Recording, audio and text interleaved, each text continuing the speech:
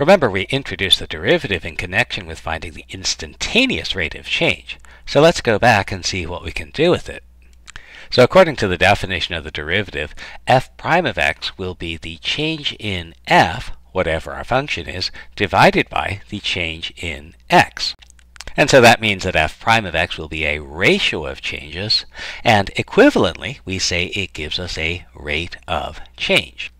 Now, importantly, the units of f prime of x are going to be the units of f divided by the units of x. And this is actually easiest to remember when we write it in differential notation dy over dx.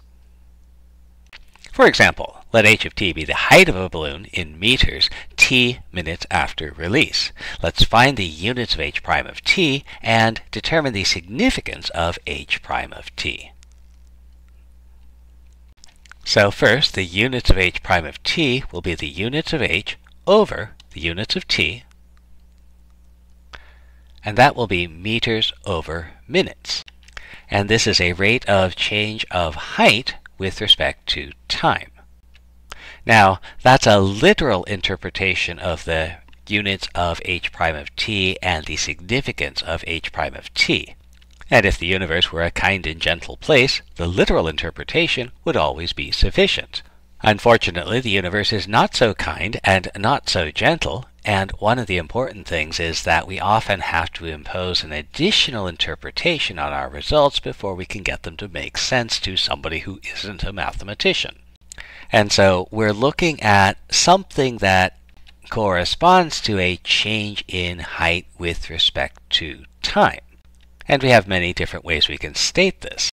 For example, we might describe this as how rapidly height is changing with respect to time. Or we might connect it to the fact that we're talking about a balloon and say this is how quickly the balloon is rising. We could even go a little farther and say this is the ascent rate of the balloon, or we can come up with yet other answers.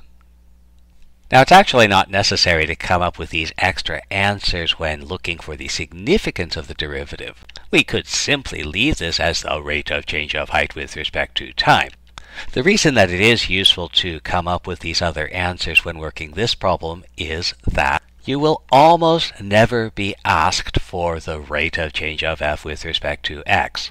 In fact, it's more likely that someone who wants to know an instantaneous rate of change will ask a question that does not have the word instantaneous, rate, or change. For example, we might be asked something like, How rapidly is the population increasing? And this is a rate of change of population. Or we might be asked, How fast is the rocket moving? And this is a rate of change of distance.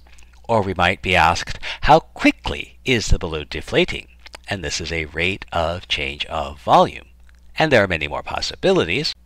And it's worth keeping in mind the English language has over a hundred thousand commonly used words, and many of these words describe in one way or another a rate of change. So how can we find what we need? Well, let's consider a problem like this. Now, one extremely useful thing to do is to look for the units. So we might start out by looking for the units of h prime of t. And those units will be the units of h over the units of t. So that'll be meters per second.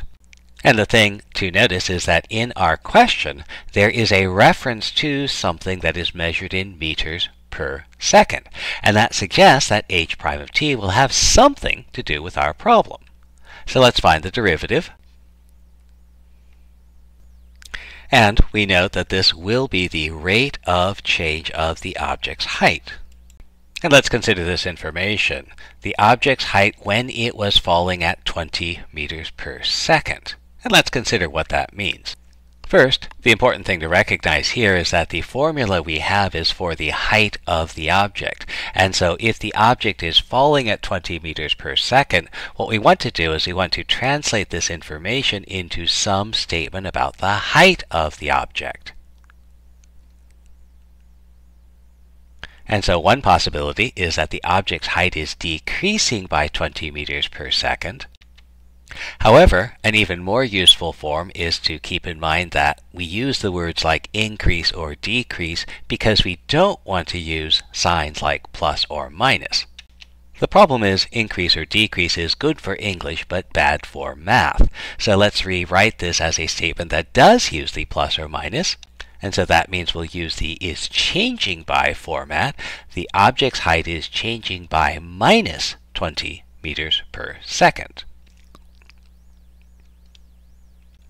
Well, this is useful because we have the rate of change of the object's height. And so we want this rate of change of the object's height, h prime of t, to be minus 20. And so we'll set down that equation and solve. And we find t equals 6. So we can summarize our results. The object was falling at 20 meters per second, 6 seconds after it was thrown. This is a good answer. The problem is, it's not actually the answer to our question. However, that shouldn't stop us from writing it down. Any information at all is useful, and there's nothing wrong with providing more information than we need. In this particular case, t equals 6 is relevant to our problem because it tells us when the object was falling at 20 meters per second. However, t equals 6 itself is not the actual answer to the question, we want the object's height. Fortunately, we have a way of finding that. So we'll let t equals 6 and substitute that into our equation for the height and get